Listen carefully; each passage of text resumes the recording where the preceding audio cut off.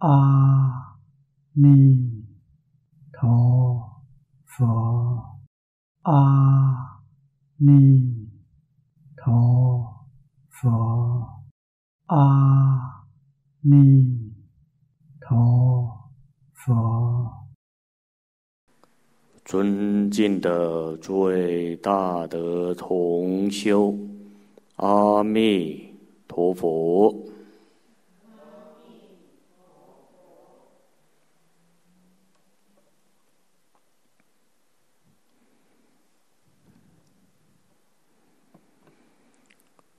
请大家合掌，我们一起三称本师圣号，即开经记。南无本师释迦牟尼佛。南无本师释迦牟尼佛。南无本师释迦牟尼佛。无上甚深微妙法，百千万劫难遭遇。我今见闻得受持，愿解如来真实义。净土大经科注，请诸位同修先开注解。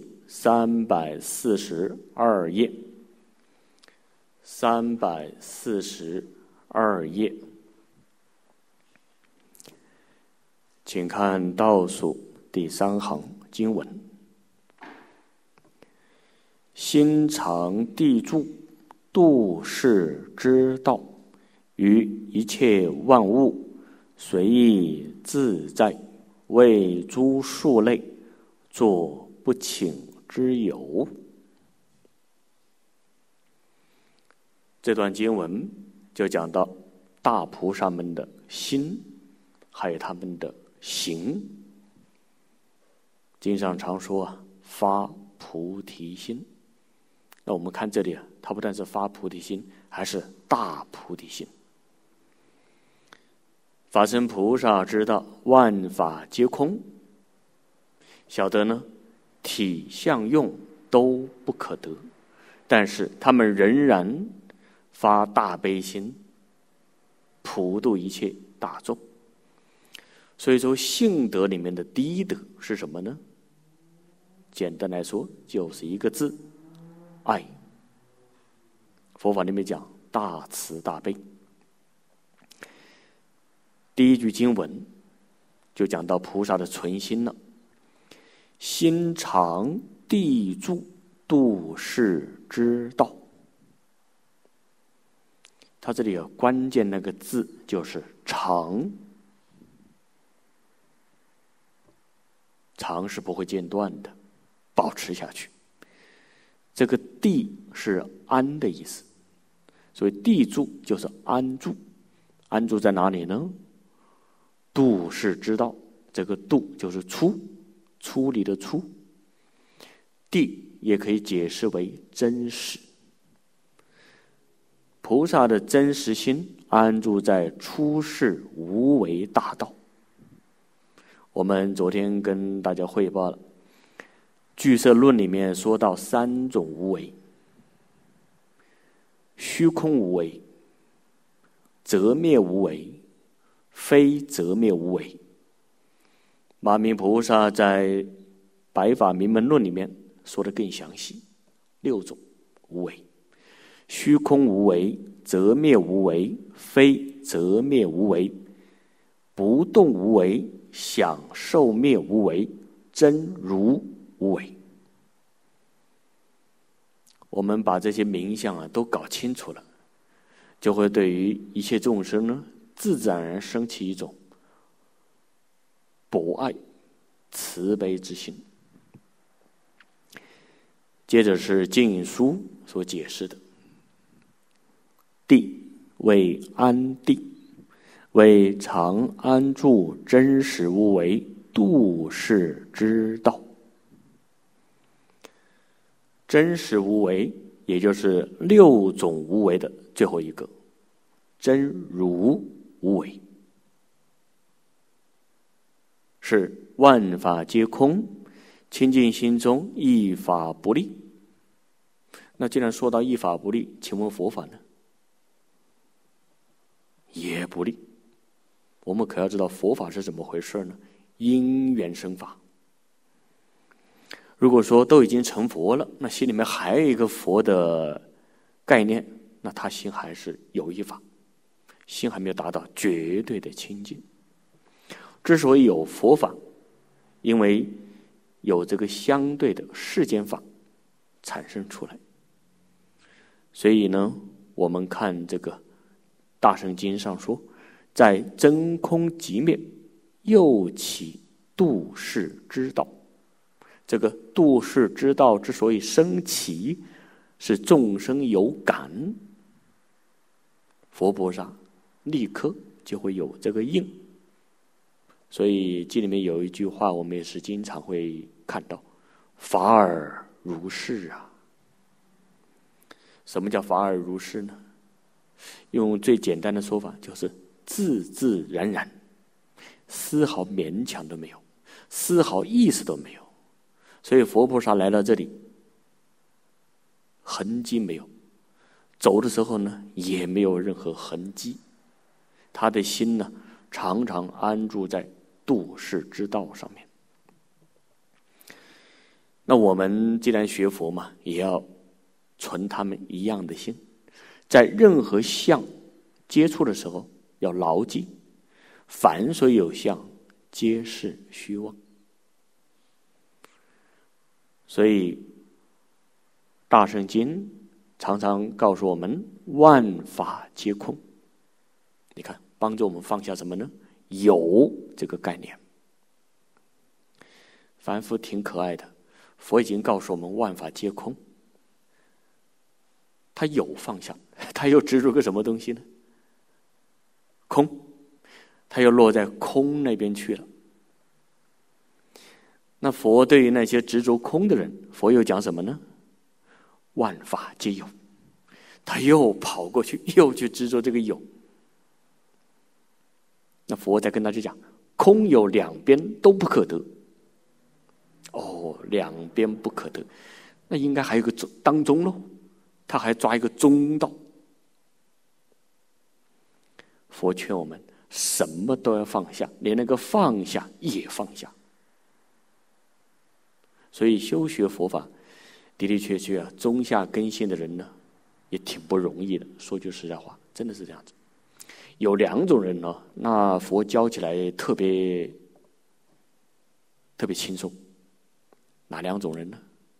那个上上根人，一听就懂，一听就彻悟；还有一个是下下根人，跟他讲了讲那么多，其实没用，他听不明白。听不明白怎么办呢？那就不要说那么多，说一两句重点就好了，告诉他怎么去做。这种人呢，老实听话真干，以后的的确确成就不亚于上上根人呐。因此，这里都教我们大家，对于任何人事物不可以着相。楞严经上讲的那么清楚，言语道断，心行。处灭，言语道断是不能够说；心行处灭是指不能够想。您只要动个念头去想，那就落在六道里面了。所以佛劝我们呢：不思、不想、不意。修学任何经典，要牢记。大圣起心论里面所讲的原则：离名字相，离言说相，离心缘相。佛菩萨讲的这些名相、言说等等，不要去计较它，那是方便法。同时呢，也不要有心缘相。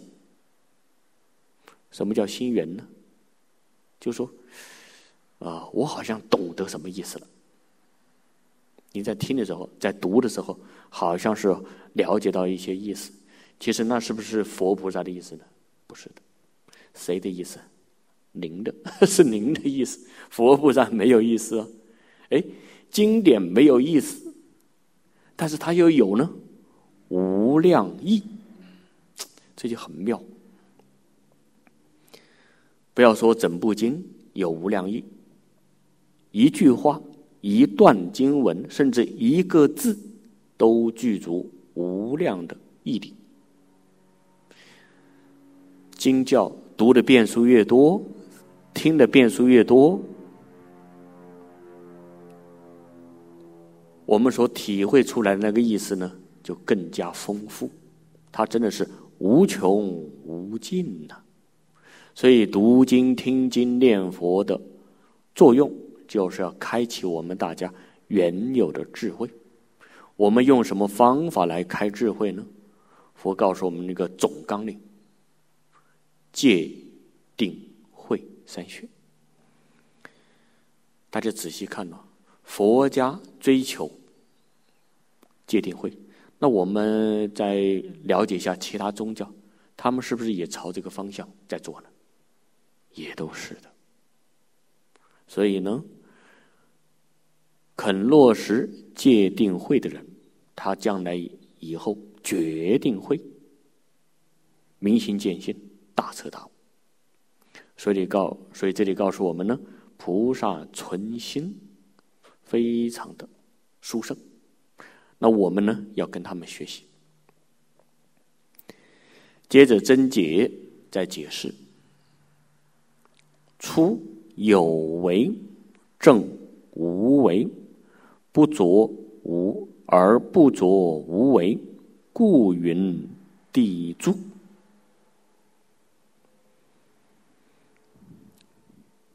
出有为，在世上来讲，他出离是法界了，那就到一真法界。正无为是说他明心见性，大彻大悟。但是在这个时候啊，不能够执着无为的相，也不能够有无为的念头，这个就称为地住。的的确确啊，大乘佛法讲这个体相用、因缘果事理非常圆满。此菩萨心常住无住处涅盘，云心常住。这就解释什么叫心常住。这些大菩萨的心呢？常住在无住处涅盘。什么又叫做无住处涅盘呢？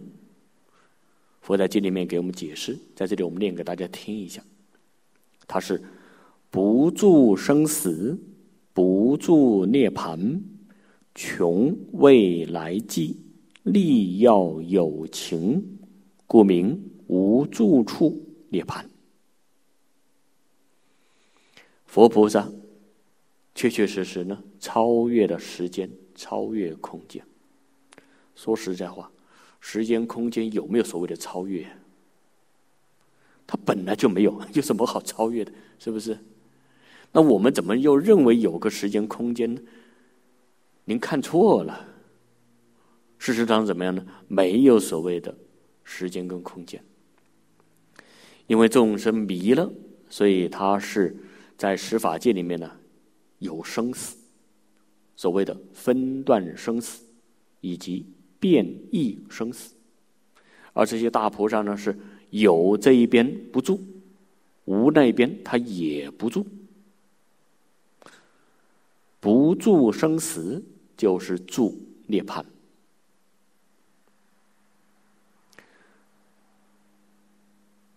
在说的就近处。生死跟涅槃到底是二法还是一法？我们凡夫就认为生死跟涅槃是两码事儿。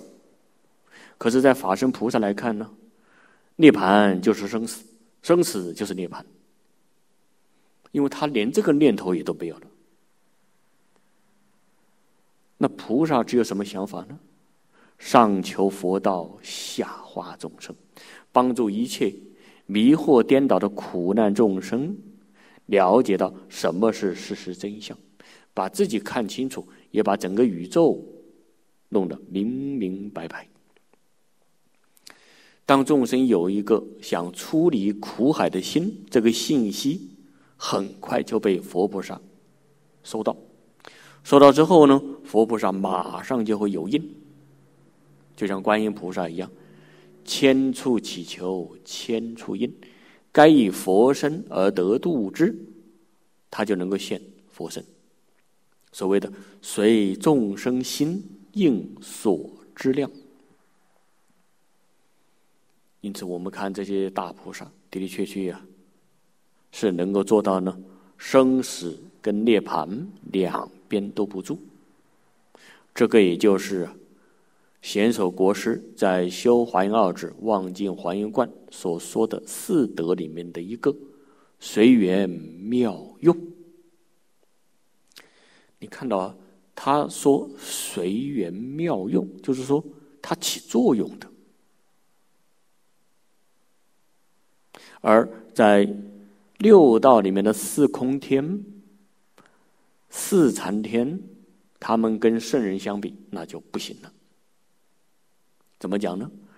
四空天的天人，他是心比较清净，但是呢，他那个清净心呢不起作用。可是佛菩萨呢，他是安住在清净里面，他也同时起作用。在起作用的时候，又不妨碍他住清净，所以妙啊，就妙在这儿。不管佛菩萨是处在什么样一个境界当中，他都能够做到不起心动念。事实真相啊，已经跟大家说清楚了。可是讲的这么明白，我们是不是真的懂了呢？说实话，不容易懂。为什么？我们现在还不是法身大师，所以呢，啊，那只是讲一讲别人的境界。等到哪一天呢，我们升到极乐世界，您也入了法身大士这一个功夫的时候，自然对经上所说的这些理事等等一目了然。那我们现在为什么读了经、听了经，还是？入不了法身大士这个境界呢因为我们有障碍。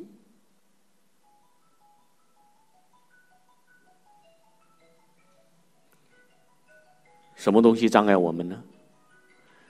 最严重的贪嗔痴，而这个贪里面又有一样东西是最严重的情执。嗔恚的核心是什么呢？我们讲最严重是什么呢？就是傲慢。愚痴的核心是什么呢？就是怀疑。果真能够把情执、傲慢、怀疑放下，那其他的烦恼就很容易把它转过来了。这是讲以前是这个情况，可是到了现代这个时候。我们众生麻烦又来了。现在人跟人之间情执重不重啊？哎呀，说说的，哎呀，说实话，现在现在人跟人之间有没有所谓的真情啊？有人说有啊，你看这些男女他们在相爱的时候，爱的死去活来的，每天见面的时候，或者他们平常发信息，都说那三个字。他说一说而已，他是不是能够真正永远保持下去呢？是不是？古人哦，那是真的有这个感情，保持长久，白头偕老。现在呀，甚至我们听说什么，白天举行婚礼，晚上两口子哦在新房里面数人家给他们的红包，数完之后。呃，大概多少钱？然后两，然后两个人就怎么样呢？讨论这个钱怎么用。结果新郎想这样用，新娘想另外一个用法。两个人争执不下，当下两个人就说什么：“你连这个都不肯听我的，我凭什么跟你过日子？”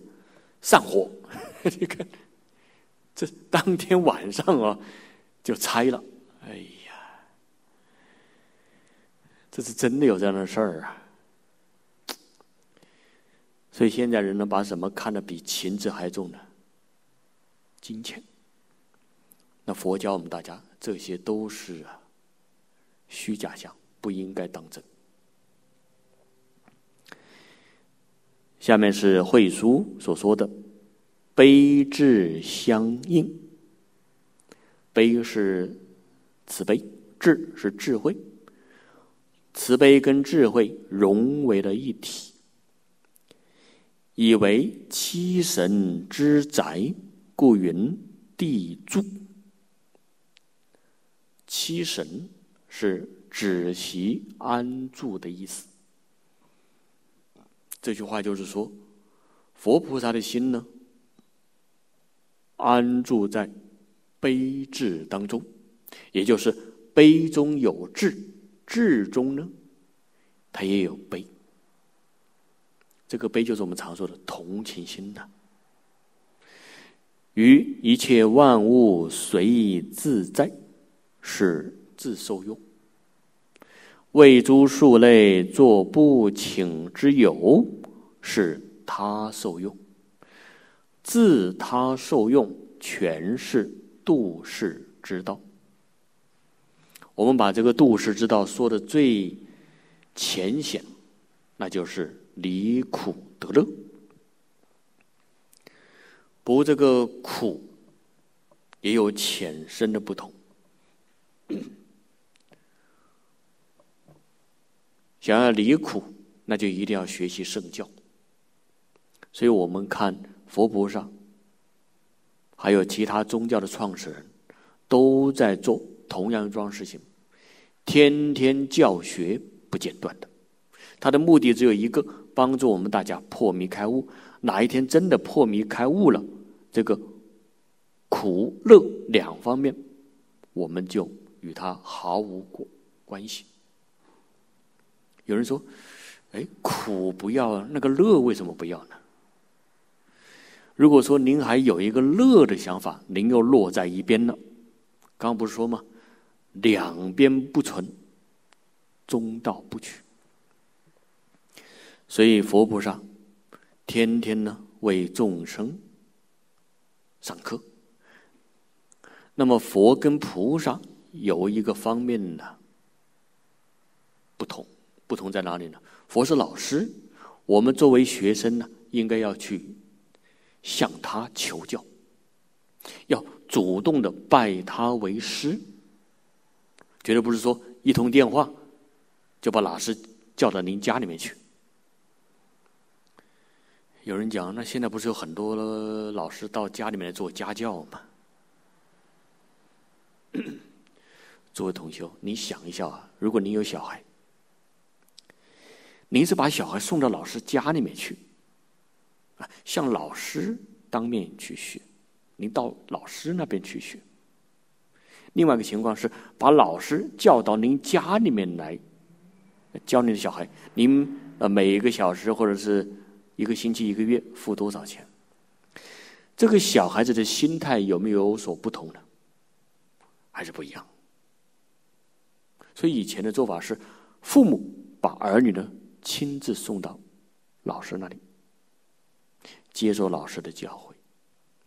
如果说我们做学生的对老师没有丝毫恭敬心，就算这个老师本事再大，学生也听不进去。而菩萨呢，是我们的学长，是我们的同学，我们纵然不请他。这个学长怎么呢？他也可以自己来，所以叫做不请之用。刚刚提到了，于一切万物随意自在，是属于呢自受用。自受用的体就是孝敬，有孝敬心的人，他在一切万物当中，真的是做到了随意自在。既然是随意自在，那他一点障碍都没有。万物是指万法，自在者通达无碍。《法华经》续品云：“净诸有节，心得自在。”多好！你看学佛那个好处啊，说不尽呐。其实我们学习佛法目的是什么呢？这里就讲到了“净诸有节”，那个“净”就是断尽，“结”是说的烦恼，像见识烦恼，这是我们要把它断掉的。除了这个之外呢，还要破尘沙烦恼、无名烦恼。您把这些烦恼全都放下了，那个自在的味道、意思、境界，自自然然就懂了。因为我们现在啊，这三大类烦恼一样都没有放下，所以这个自在呀，我们真的是丝毫体会都没有啊。我们顶多有什么呢？少分的相似的感受。所以一些念佛的同修呢，他念上个几年，感觉到身心呐比较清安，啊，他有那个法喜，很好。我们鼓励他继续念下去。但是哦，他如果达到这个境界之后，他就满足了，不肯再继续用功，那他所达到的最高境界不过如此而已。应该怎么样呢？继续努力，再念下去。后面再解释自在是什么？思维无庸，神通自在。夫心有拘累，随物而转，故为烦恼所伏。凡夫着有二圣至空，皆堕情执之中。闲是心随物转，故于万物。不得自在，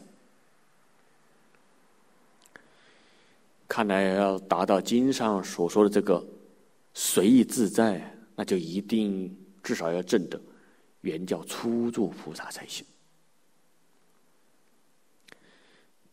在《法华经》续品里面，刚刚我们看到那两句经文，就提到“尽诸有节，心得自在”。这都是明心见性的菩萨契入的。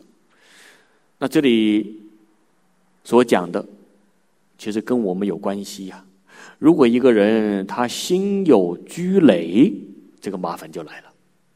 什么叫做拘累呢？它是烦恼的代名词。华严经上说，妄想分别执着。换个说法，无名烦恼、尘沙烦恼、见识烦恼。这三大烦恼都有拘累的现象，拘束、累赘呀，使我们在六道里面呢，不能够得到安乐自在。因为心有拘累，所以呢，随物而转。大家从这儿就知道了，为什么我们叫做凡夫。什么原因呢？您被物给拉着跑啊！一般这个物就代表什么呢？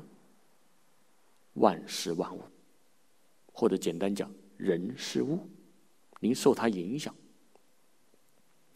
故为烦恼所伏。凡夫着有二圣智空，我们呢有烦恼，身为缘觉有没有烦恼呢？还是有。他还有尘沙烦恼、无名烦恼，凡夫六道凡夫执着有，身为缘觉呢，执着个空，总是落在啊其中的一边。所以执着有的被有给转了，执着空的呢被空给转了，都没有办法呢回归自信。法身菩萨呢把这两样通通都放下，所以啊，身为缘觉。也把这一个法执放下之后，他也就能够啊明心见性的。因此，我们看到此地所讲的凡夫跟声闻缘觉都堕落在情执当中，而这个情执呢，又是虚妄的，不是真的。闲是心随物转，那这个闲，就是说所有前面所讲这两大类的众生，故于万物不得自在。其实无量劫来啊，我们就是这种感受啊。把这句话概括起来，用一个字代表，就很好讲了：苦。大家苦不苦？什么时候开始苦啊？那说来话长了。我们说的简单点，就说这一生好了。当我们的神识来投胎的时候，就苦；怀孕十个月苦；出生的时候苦；到上幼稚园苦，小学苦，中学苦，大学苦，以后在社会上工作苦。那么在家人呢？在结婚，请问结婚几十年的婚姻有没有苦？无生不知道，但是你们应该知道，对不对？你们有家庭的，应该多多少少有这样的一个感受吧。所以哦，在六道里面，众生再高一点的身为缘觉都有不同的苦痛。关于这一点，大士深达法性，那这是指的法身菩萨，他们对于。一切万法的本体清清楚楚、明明白白，不但对于诸法的体清楚，他对于这个相也明了。这些大菩萨能够做到当相离相，这点太难得了。他不像声闻缘觉哦，他们是怎么样呢？哦，我出六道了，我就落在偏真涅槃，他不会主动的来。帮助我们大家，大菩萨呢，并没有离开这个境界相，他是空有两边都不执着，他知道有是幻有，知道这个空呢是真空，而这个真空呢，它又能够现现象。所以《大乘经》有两句话说：“妙有非有，真空不空。”说实在的，整部大般若说什么？就是讲这两句话：妙有非有，真空不空。那么我们六道众生的麻烦就是执着这个有，因此心不得清净。身为缘觉呢，他执着个空，所以他平等心得不到，他不能明心见性。假如哪一天身为缘觉也能够做到。当相离相，那就太好。他的境界呢，又向上提升。这个当相离相是说什么呢？六根常常接触六层境界，可是，我们就拿眼睛来说好了。他虽然看这些不同的色相，他不被那个假的色相所迷。耳朵听这个声音，不被那一个音声的相所转。今天中午又来考试了。如果说我们今天中午到斋堂去吃越南餐，你可不要又着相了。有些同学挺可爱的，还没到周五、周四的时候就提醒对方：“哎，明天是礼拜五，越南餐，早点过来。” 你看，这不就是又着了这个相吗？那佛已经教我们大家要离相，您能够做到当相离相，就不会被这个物所转。其实真正的功夫在哪里修呢？不是在讲堂，也不是在禅堂、佛堂里面呢，在哪里呢？就在穿衣、吃饭当中，也就是在日常生活当中。所以大家看善财童子五十三参，他所参访的那五十三位大菩萨，他们在哪里度众生呢？他没有离相啊。五十三位菩萨代表什么呢？社会各个阶层，分为五十三类嘛。所以这些大菩萨并没有离开一切众生，天天跟众生呢朝夕相处，用他的身教，用他的言教，帮助我们大家觉醒。般若经里面有两句话也说的很好：“离一切相，即一切法。”其实那个会听的人呢，他哪里需要把整部经全部听完呢？不必，只要能够抓住其中一个纲领，懂了，下课之后呢去照做，肯定能够成就。这个离一切相。离就是指不执着它，任何相都要知道它是多快的频率变化呢？一千六百兆分之一秒，这是超级快的频率啊！所以万象都是在如此的速度之下，不停的千变万化。其实讲千变万化已经太慢了。是不是？它至少是什么呢？因为它里面有个兆了，那个兆就是万亿嘛。因此《楞严经》上说的太棒了：当处出生，随处灭尽。您说它出生，它其实当下就怎么样呢？就已经消失了。说它消失，它又怎么样呢？又冒出来了。所以《般若经》总结了：一切法无所有，毕竟空，不可得。那这个时候，我们的心就怎么样呢？就止住了，它就不会再动了。这里讲到地住，或者说安住，能够不被境界转的人，这是什么人呢？就是《楞严经》上后面所讲的“即同如来”。所以，我们大家是不是佛？从哪里可以看得出来呢？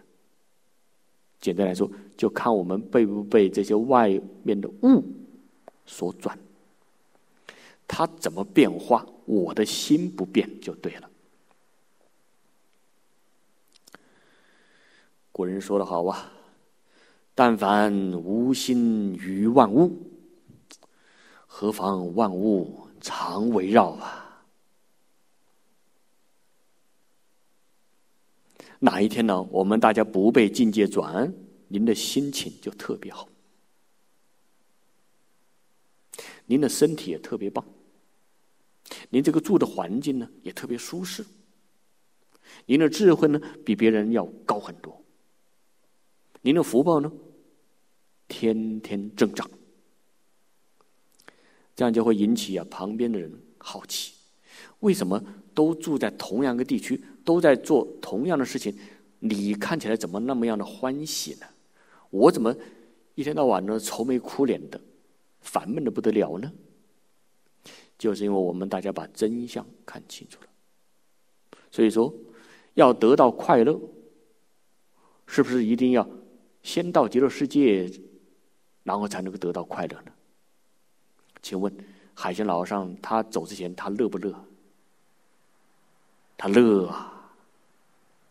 虽然他每天呢到农田去耕种，都已经一百一十二岁。往生的那一天还在劳作，但是他每天做这些事情呢，快乐无比。当然，到达极乐世界更加乐，是不是？因为在那边呢，我们六根所接触到的境界绝对不会有啊，让我们起心动念的，不会让我们呢生一点点烦恼，没有一点点积累。产生，到那边呢是佛菩萨时时刻刻在给我们讲开示，让我们的心境啊不间断的大幅度向上提高，到最后呢很快就进入到妙觉如来的果地。下面再引用啊禅宗这个说法，宗门云：但自无心。于万物，何妨万物常围绕？这是刚刚我们所引用的。所以修行呢，真正的功夫呢，从这里就能够看得出来。因此，我们看到这些大菩萨们，他们一点都不排斥外面的六层境界，他呢很欢喜、很快乐的接受外缘。大家如果看一些弥勒菩萨的造型呢，有的是这样子塑造的：弥勒菩萨坐在那，笑呵呵的，他身上呢有五个小孩趴在他身上玩耍嘛。那弥勒菩萨怎么样呢？还是笑眯眯的。另外一个造型呢是六个小孩，也在他身上啊这样子爬来爬去的。弥勒菩萨也是不动怒。其实这个五个小孩代表什么呢？表法表五欲。六个小孩代表什么呢？六层境界。这不就是此地所讲的吗？弥勒菩萨是无所住啊，那既然能够达到无所住，也就是他无心于万物，这个叫万物常围绕他的时候，他一点都不受影响。可是我们现在不是弥勒菩萨，不要说五个小孩、六个小孩来找您啊。一个小孩来找您，请问您会不会跳脚啊？当然这是表法了，就是说财色名食睡嘛，有一样东西哦来诱惑我们，我们会不会动心呢？会的。那会动心该怎么办呢？我们知道动心不好，那是在造业，所以古人的做法就值得我们借鉴，远离它。回避他，不接触他。当然，功夫到家了啊，这个时候呢，我们就可以呀跟这些万物接触。这个时候接触时候，不但能够印证我修行的功夫是真的有，同时呢，我们在接触外面境界的时候，还能够向上提升。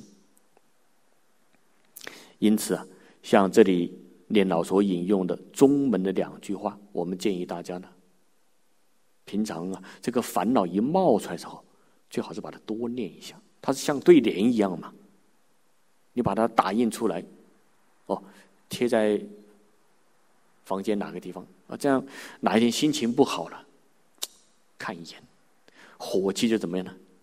就降下好多了。所以念老后面就说。进而物随心转，故能随自在。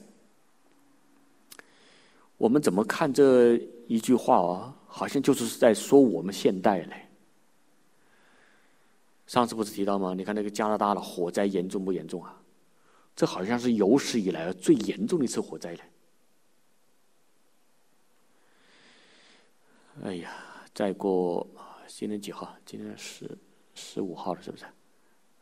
还有半个月，那个呃，某个国家的那个核电站的水就要排到大海里面去了。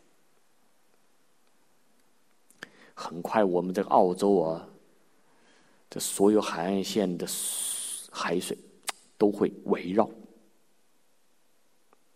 假如说我们能够转这个雾，那多好！能够把那个火灾给。熄灭掉，能够把这个核污染的放射性的水也把它变成是清净的水，那多好！能不能够做到呢？理论上说是可以的，那就看我们大家心清不清净。心静到一定的程度，就能够转万物。如果我们心还是有所着，那依旧是要受这个苦报了。所以佛早在三千年前就已经提醒我们了：我们这个是什么世界？五浊恶世啊！现在我们都已经苦不堪言，那您可以想象一下，如果在二十年之后呢？万一又来一个更加严重的灾难呢？那后面的人怎么办呢？他还要不要活下去呢？他还是要啊。可是那时候人活会不会更苦啊？他们就羡慕我们呐。所以人呢，在六道里面真的是苦不堪言，要有出离心，好好念佛求生净土。下面是经书所讲的：由成圣通，于一切物变化随意，故能立物，名为自在。这个由啊，就是说这个原因呢，他成就什么呢？圣通，这个太了不起了。他不但有神通，还是什么神通啊？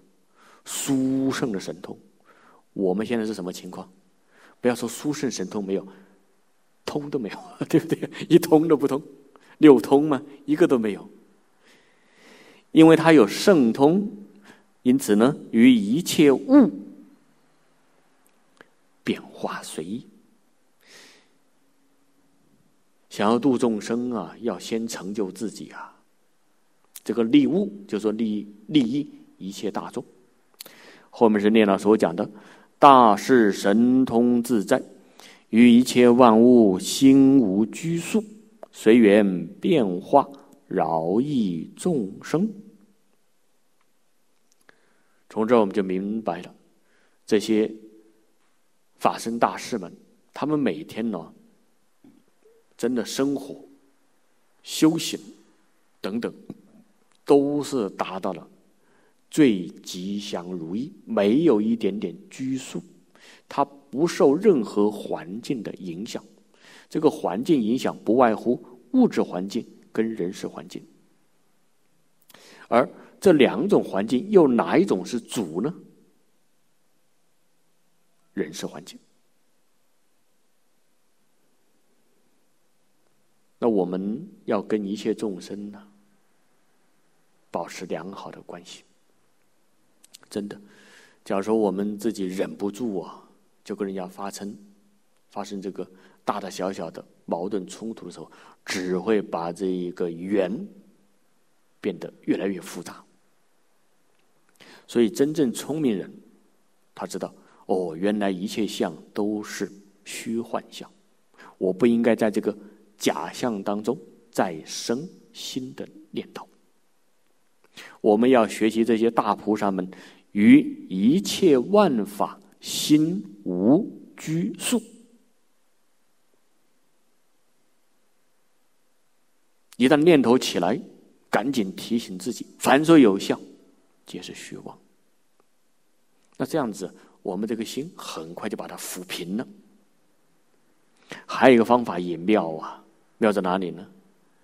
不管是什么想法冒出来，都用一句佛号取而代之。所以我们看那些老菩萨了不起啊，他一天到晚呢，就是手上拿着一串长念珠，就在那里一个人坐在那里念，或者呢，他就在那边绕佛。一边绕佛一边在那边念佛，不跟人家讲闲话的。到最后，您看他走的时候呢，潇洒轻松自在，能够预知时至往生。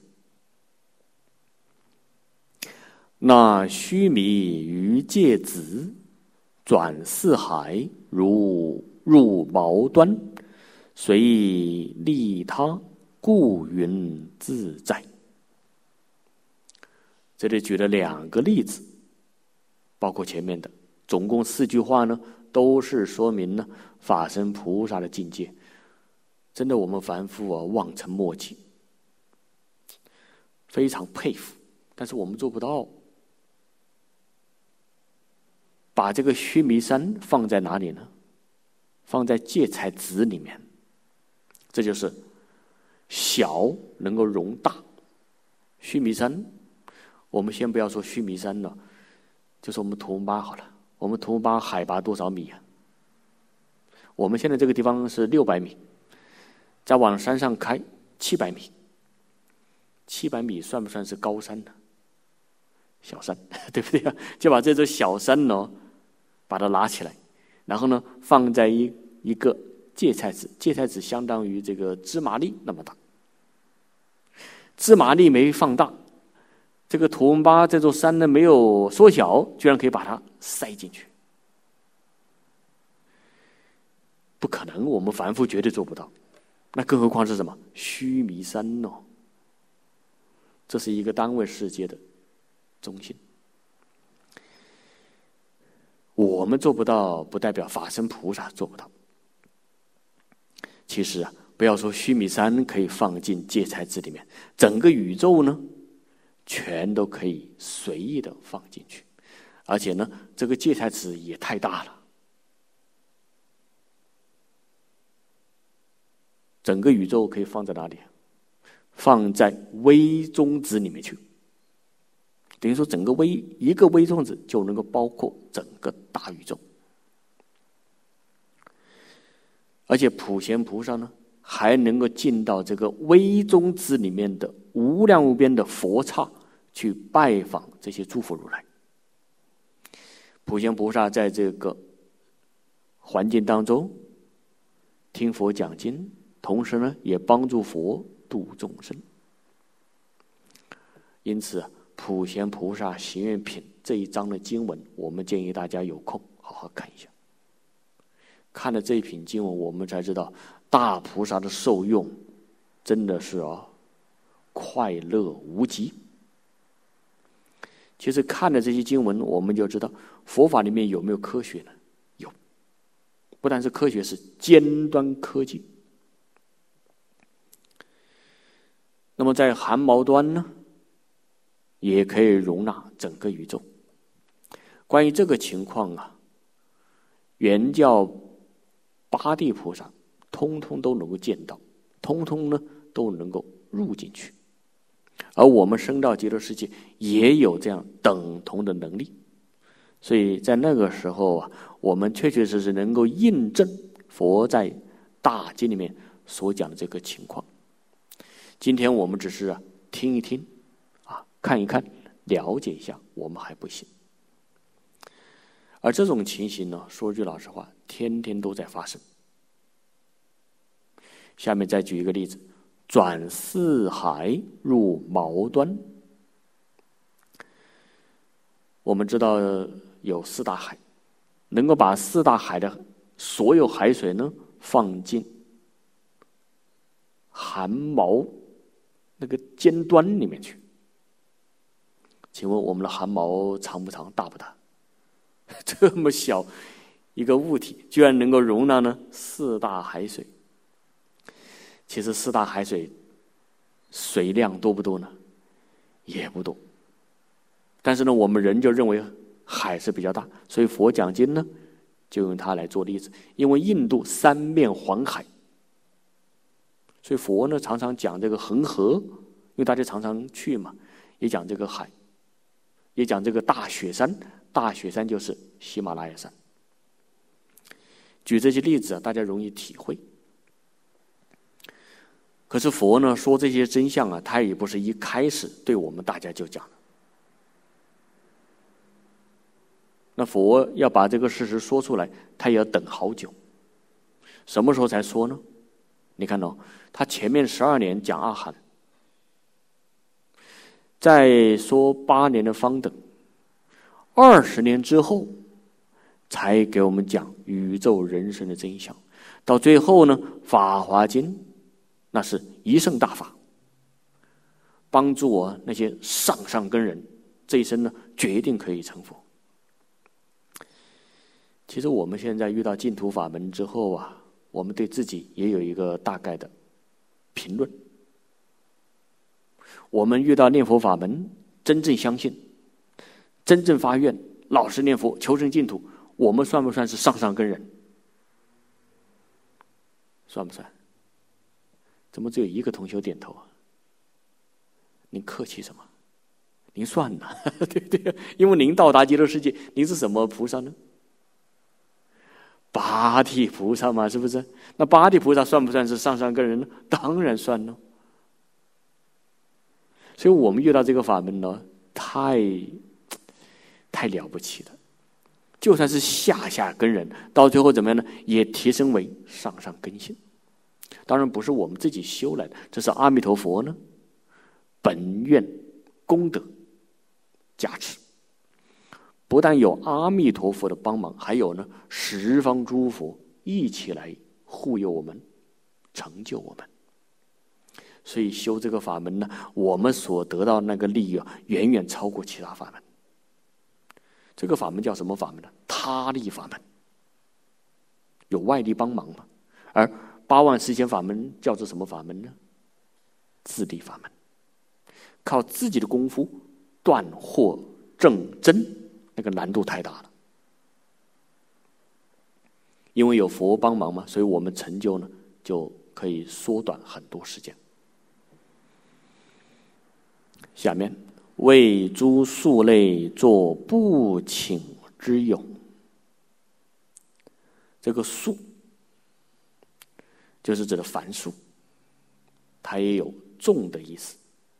类呢是品类，把它合在一块儿，宿类就是指的众生。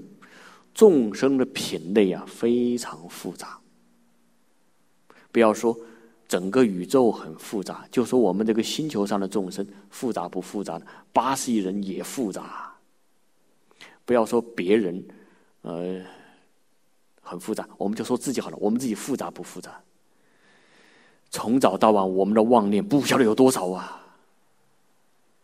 可是佛呢，都有能力哦，帮助我们转自己的烦恼。那我们想要得到佛法里面的利益，一定要对老师尊重，对于经典要尊重，对于同参道友要尊重。这是讲人事环境。如果说我们此地还有一个良好的修学环境，那就更好了。现在目前来说，我们在图妈这个地方算是不错。虽然说老师哦已经离开我们了，我们师傅已经往生一年，差不多一年了，但是呢，他这个留下来这些法宝还在啊，是不是？我们可以看书啊，看视频呢，或者听这个音声呢。您只要以恭敬、真诚、清净、平等、慈悲心来听，那也等同于师傅呢在现场给你讲一样。会书云：“众生被觉，沉迷漂流，生盲无目，无悉初心。”这个就是在讲我们了。我们凡夫是什么样一个状态呢？被觉呀！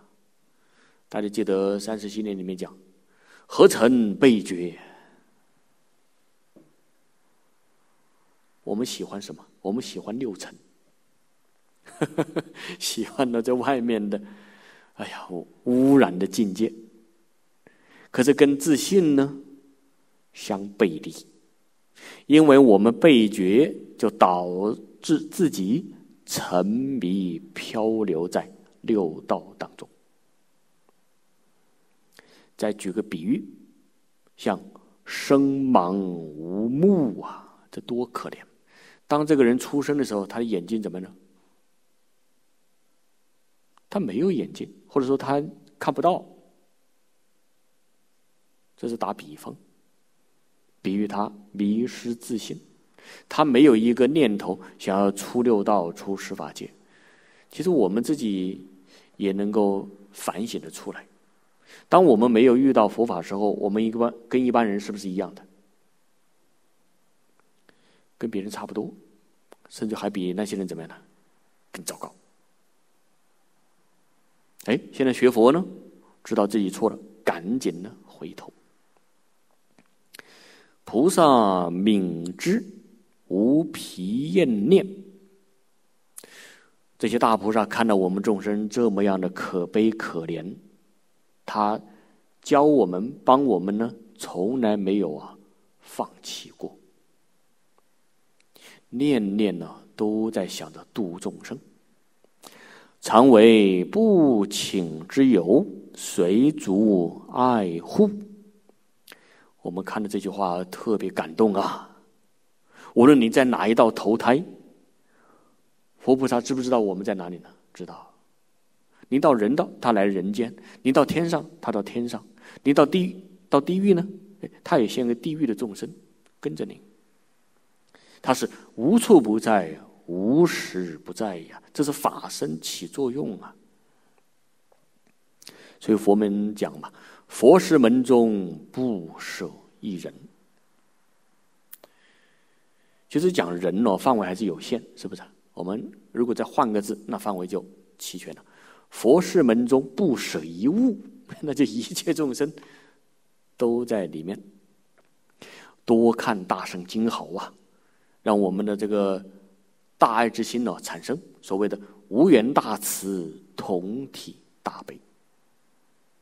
真的，我们帮助别人呢，不要求回报，不要想到说我对你付出这么多，你以后要对我好一点哦。真的，有时候我们就听到一些人在跟对方说嘛：“我这样照顾你，你怎么都不帮我一下？”生气呀！其实我们要知道，他为什么不肯帮您呢？因为钱是您这样子喽。如果不是过去世的因，怎么会有今天这一世的果报？所以我们把三世因果都搞清楚了，那个心呢，它自然就平静下来。这个当中呢，还有省略的，故涅盘记曰，在涅盘经上啊，有这样两句经文，是就。要求然后得，如来不请而为归。当我们在世间法当中遇到困难的时候呢，佛菩萨马上啊就会来应。有人就说了：“哎呀，我现在啊这个呃向银行贷款，借了几十万澳币。”我的困难这么大，那怎么佛菩萨不来给我一笔澳币呢？随便从极乐世界拿一个拿一根枝条下来，然后把它兑换成澳币，这样不就解决我的贷款了？你看，他就有这样的想法。请问佛菩萨可不可以从极乐世界随便拿一些七宝来到我们人间帮助众生呢？在他们来说没问题，可是我们要想一下，我们有没有那个福德去承受这个福报？没有修到相应的福德，我们如果接受那个福报，反而会怎么样？招来灾祸啊！所以佛是有圆满的智慧的，知道呢哪些可以给我们，哪些可以帮我们。哪些是绝对不可以帮的？如果说帮了忙，后面出现严重的后果，那这种事情佛菩萨是绝对不会做的。一定是怎么样呢？帮了之后，现在有好处，将来呢，永远都有好处。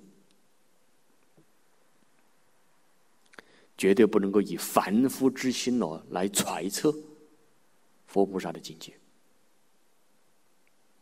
有不请之有，见维摩经曰：“众人不请，有而安之。”这是说，大众当中呢，没有人主动来祈请，但是佛菩萨怎么样呢？有而安之。哎，我们想一下，为什么大家不来主动祈请呢？因为没有人知道。我们举例来说，像释迦牟尼佛好了，他三十岁在碧波卢树下，在菩提树下夜睹明星大彻大悟。他在二七或者三七日中呢，讲了一部《华严经》。请问这个时候佛所做的事情，人知不知道？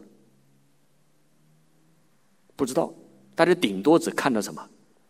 啊，佛就坐在那。眼观鼻，鼻观心，一一句话也不说，默默就坐坐在树底下打坐。这是我们一般人所看到的。可是人不懂，可是天上的天人怎么样？他们有天眼哦，像这个四禅天的五步还天，他就看到佛在菩提树下成佛了。所以许许多多的天人呢，当然不止他们，还有很多天人都一起呢。变成这个人身，来到佛的面前，向佛祈请。佛这个时候怎么样呢？默受。佛也不说话，不说话就代表什么？接受了。如果佛说呢？我不想注释，那那就没办法了。但是佛不吭声，不吭声就代表接受。好，从这天开始呢，他就去鹿野苑展开教学了。在一堂课当中，就帮助其中一个尊者教生如正果了。所以从那时候开始呢，世间的三宝就正式成立，就建立起来了。所以佛啊，一现身了，就帮助我们这个娑婆世界无量无边众生都得到法益。这个有而安之，有是个会意字。大家如果看这个《说文解字》哦，如果是甲骨文，那个有是怎么写的呢？我们模仿一下啊，大概就是这个样子，两个手呢朝着一个方向重叠在一起，这个表示什么呢？以手相助，这个叫做有。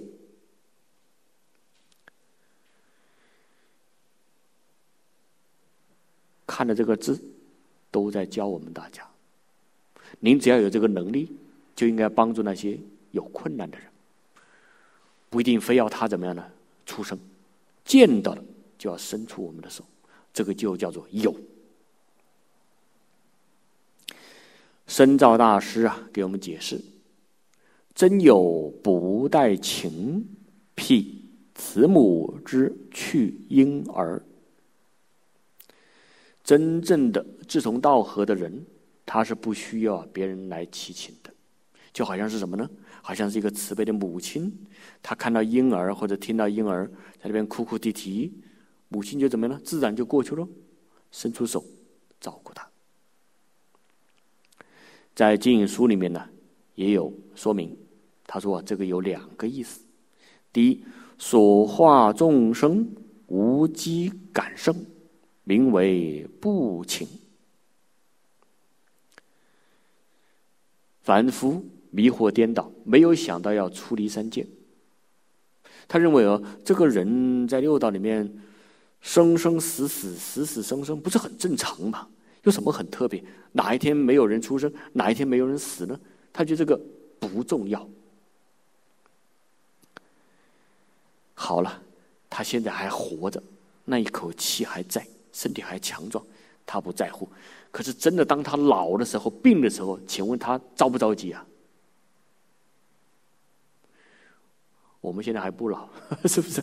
也没有病入膏肓，所以我们现在也不着急。什么时候着急呢？真的病了，死去活来了，到最后要死了，那个时候您就怎么样呢？手忙脚乱呐。所以呢，这个不了解真相人，他对于圣贤呢，可以讲缘分还未到，这个叫做不请，而。菩萨强化为做因缘，名有安之。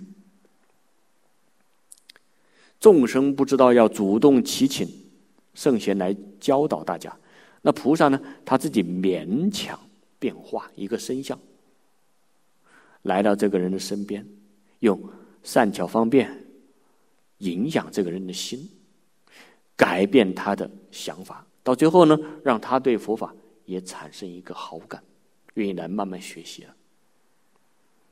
这第一个原因。第二个呢是说，所化众生虽有道机，无其要欲，不知求胜，名为不请。菩萨随机而为强化，名有安之。这个很可能在说我们呢，这是什么意思呢？就说一类的众生哦，他过去生中有学过佛法，但是呢，那个善根呢不够深厚，也就是他阿赖耶识里面的种子的并不多，是有，但是不是很多。可是这个时候，菩萨呢，也是主动来到他的身边，尽量的把这个众生阿赖耶识里面的佛种子引发出来，逐步的提升他的境界。所以哦，有善知识，有真正的同参道友在我们身边。循循善诱，给我们天天上课，来引导我们修学佛法，我们真的要很感恩呐。我们可要知道，善知识可不是永远都住在一个地方啊。你看咸公老和尚是不是？他住在南阳，也不是住一百一十二年了，也只是一段姻缘，在那个地方。可是这个一百一十二年也是怎么样呢？像经上所说的，石火电光，一弹指就过去了。我们要好好珍惜。下面就提到要护佛种性了，受持如来甚深法藏，护佛种性，常使不绝。下面再解释。受持如来甚深法藏，此有二解，有两个解释。第一个，净隐书曰：明明就是说明，明修圣解如来藏性，是如来甚深法藏，暗藏基除，明现己心，故曰受持。这个标准高啊！这是说，以明心见性为受持甚深法藏，明修圣解，也就是禅宗所讲的明心见性。明呢是智慧现前，怎么才能够让我们的智慧现前呢？必须要把这个迷惑全都放下。怎么才能够帮助我们放下迷惑呢？那就一定要深入经藏，要锲而不舍的天天来读，天天来听，到最后入了境界了。这个境界不是一般的境界，是如来藏。如来藏性就是经中所说的理心不乱，中门所讲的明心见性，教下所说的大开眼界。所以哪一天我们大家也能够明心见性、大彻大悟，那就好了。您就怎么样呢？您就圣解如来藏啊！到时候啊，您对于佛的境界清清楚楚、明明白白。不过我们现在要不要求要做到这一点呢？我们现在目的不是在这儿，我们的目的是什么呢？可以去极乐世界，这个是我们当务之急，首先要做的。至于圣解如来藏性呢，是我们到达极乐世界之后全部通达。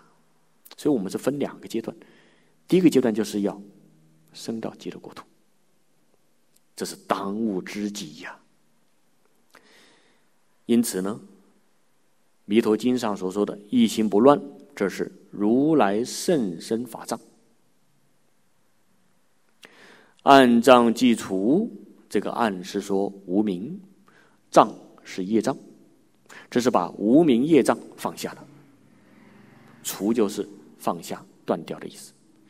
明现己心，明就是明了、明白，现在自己心中，故曰受持。受持什么呢？受持如来甚深法藏。接着是念老所讲的，这是总结了，是以明心为受持甚深法藏。您能够明心，其实就怎么样呢？就见性，见性也叫做明心。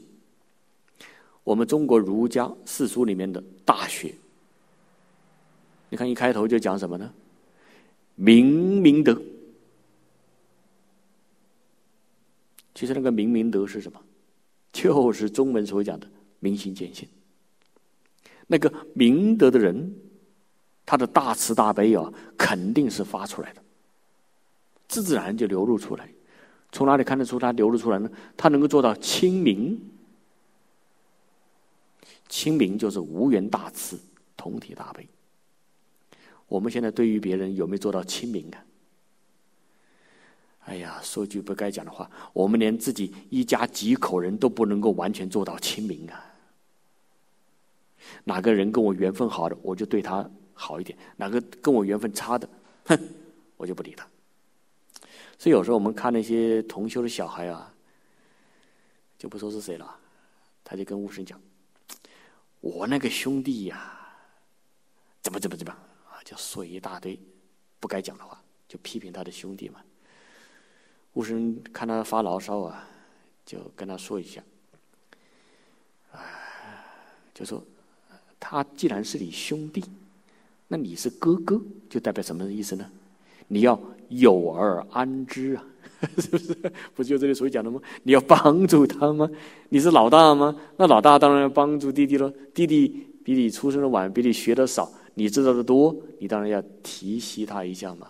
可不能够因为说他他有烦恼，他有习气，他心念想，你就排斥他啊，批评他，这样不好。虽然说了这些话，不晓得他也听懂了没有。总而言之呢，我们应该要扩大心量。好，这是第一个。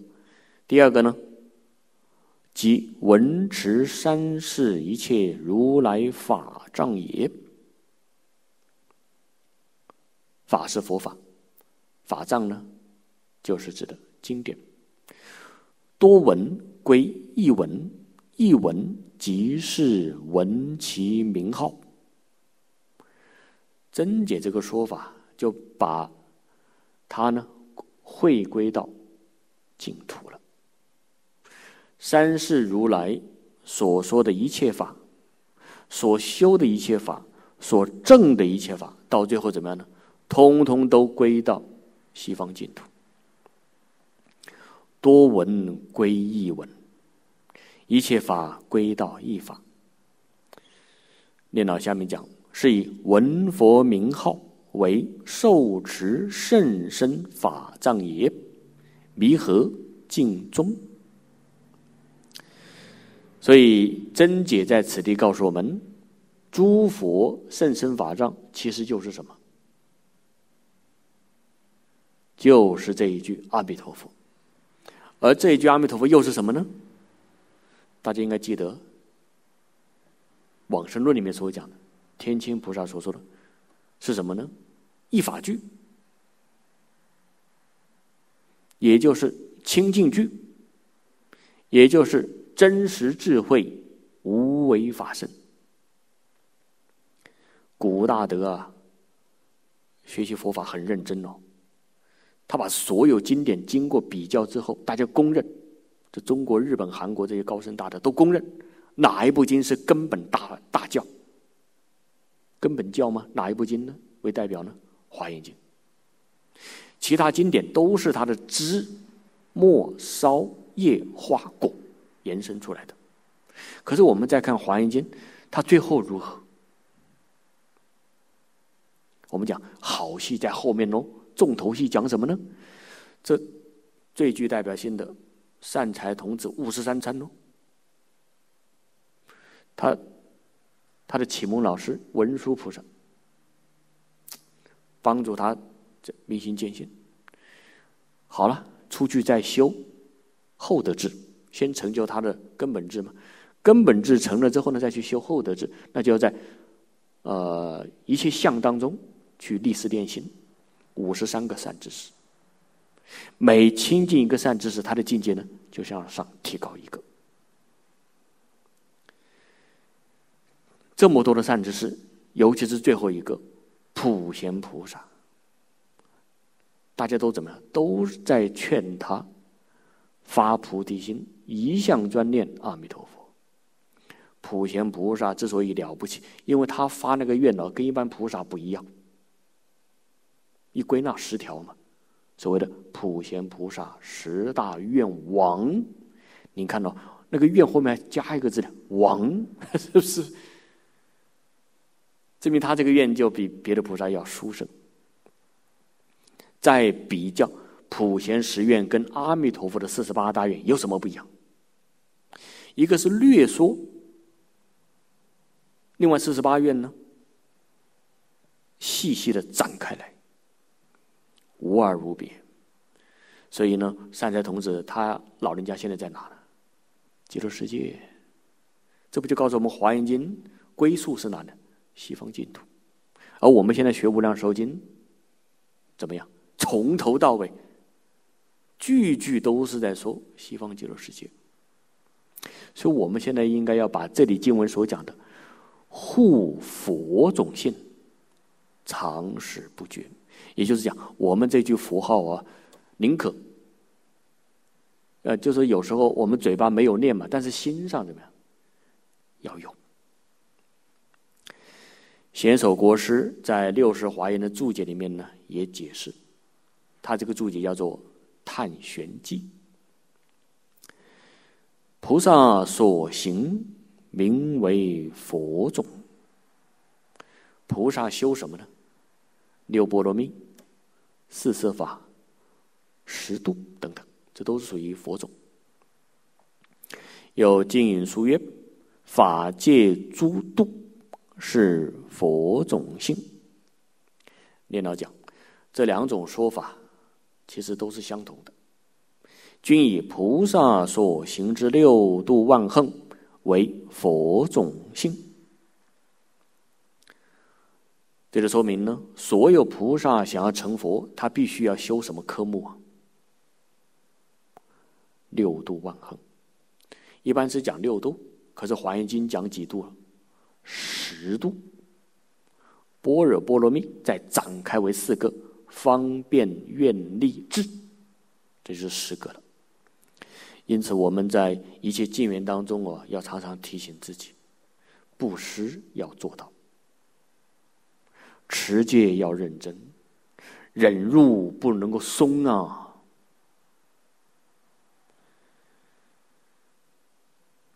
你能够忍得住，自然而然呢，心就能够定得下来。能够定得住，您就能够做到勇猛精进。果真能够做到一门深入、长时熏修，哪里有不开悟的道理？绝对可以。一开悟是什么境界呢？就像海江老师上所说的那句话，你看人家说的多轻松啊！可是他也是练了好几年才达到这样的境界的，是不是？他说什么？我啥都知道。我们现在离那个。啥都知道，还差得远呢。我们能够做到，我知道一点点，那不错了。至少自己的事情要知道嘛。连自己都搞不定，那度众生就很难。所以一定要开智慧。下面再解释这个度是什么。所谓度者，即度生死流，登涅盘岸，故以度。为佛种性也。我们要有一个大心呐，出六道，出十法界。其实我们到达西方净土呢，是真正做到了登涅盘彼岸。而且我们这个要上岸了，说实在话，要抓紧时间。为什么？现在已经达到什么样一个严重的地步啊？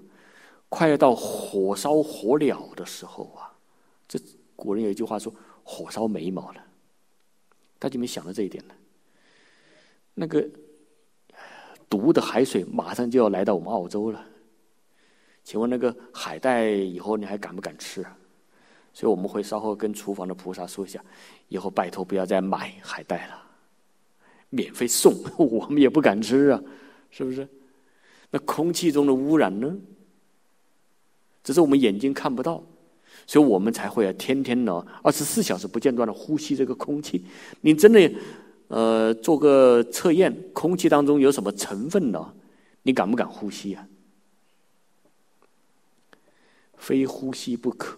这个时候您就怎么样呢？出门可能带一个什么氧气面罩，那多麻烦呢。所以要在这个地方，真的是不值得我们大家多停留。应该怎么样呢？赶快换一个居住修行的场所。极乐世界是所有佛刹当中最为理想、最为殊胜的一个地方。好，今天呢，我们就学习到这儿。